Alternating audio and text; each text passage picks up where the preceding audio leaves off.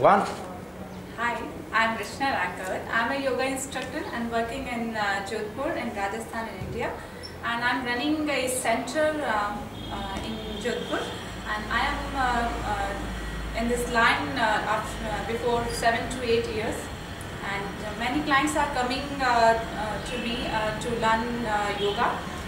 Today we will discuss about the yoga. What is yoga? Yoga means to join, uh, join to someone to another. Uh, blank. Okay, stop.